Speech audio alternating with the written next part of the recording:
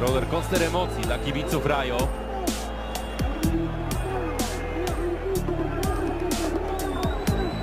Piłka odbita od ręki Senegalczyka. Mała odległość między piłką a ręką. Czy był ruch ręki w kierunku piłki? Wydaje się, że nie. Ale arbiter nie miał wątpliwości i pokazał tutaj na 11 metr.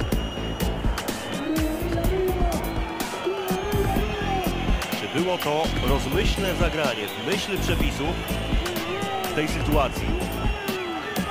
Ja mam wątpliwości. Też mam wątpliwości, bo mam wrażenie, że jednak chował tę rękę. Abdullah robił wszystko, żeby Ja bym nie dał karnego.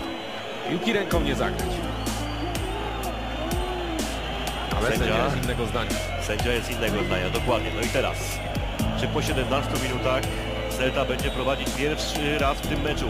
Maxi Gomez, czy Dimitriewski, Maxi Gomez i gol! Nie obronił tego Dimitriewski, choć był bliski skutecznej interwencji, to jednak dla Maxiego Gomeza to jest dziewiąty gol w tym sezonie.